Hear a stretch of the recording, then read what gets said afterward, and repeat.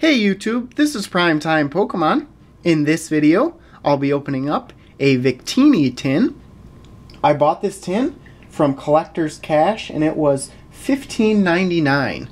This tin opening is part of my 30 Pokemon card tins that I'll be opening up on YouTube throughout the near future. If you're interested in seeing all the tins that I've opened so far, I'll have a playlist link in the video description below. This Victini tin has five booster packs with it, the Victini promo holofoil card, and then it has one figurine with it, as well as an online TCG code card. So I'll open it up here, show the artwork before I really open the tin up. I'll just take the plastic off now.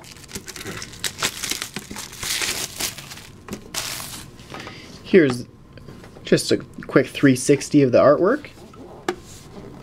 Of course, like that. Show the Victini promo hollow. Here it is.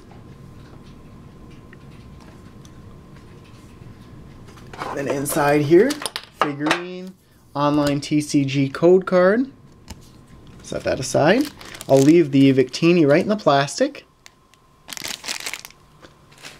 And then the five booster packs that you get inside are actually five Noble Victories booster packs. So I'll open up this one first with Kyurem on the front. And Noble Victories, the rarest cards in the set are the full art cards.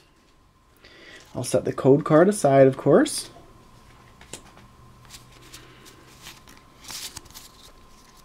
Okay, so we have Elgyem, Golett, another Elgyem, Mienfoo, Larvesta, Swadloon, Durant, Cover Fossil, Duosion is the reverse hollow, and that's an uncommon card. First rare in this video is a Victini, a Psychic type Victini non hollow rare. So that works out well in a Victini tin. Next pack here, Hydreigon on the front.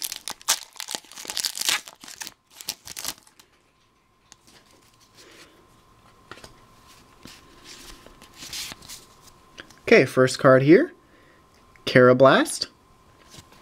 There's a Tympole, Litwick, Frillish, Tynamo, Eviolite, Swadloon, Durant, reverse Hollow is a Karrablast, just a common reverse Hollow, and the rare is a Cobalion Hollow. So a very good Hollow card. It's nice to get legendary Pokemon like Cobalion as Hollow cards. Next up here, Noble Victory's pack with Druddigon on the front.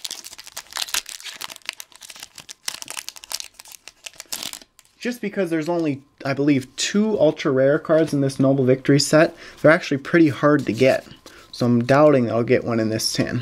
So we have Tynamo, Axew, Mienfoo, Larvesta, Timburr, Garbodor, Archen, Simisear, Reverse hollow is a Haxorus. There's a nice Reverse hollow rare. And the actual rare in the pack is a Chandelure. Non-hollow rare card there, but still, two rares always is nice to get in one pack. On the onto the fourth pack now. Victini on the cover artwork there.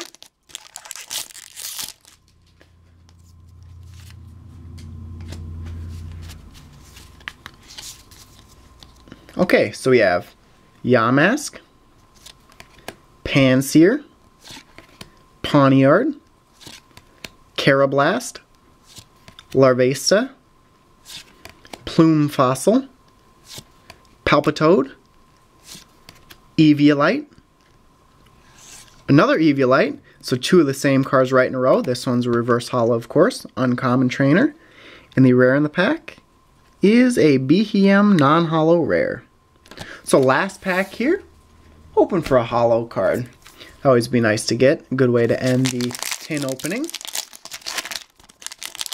Kyurem on the front.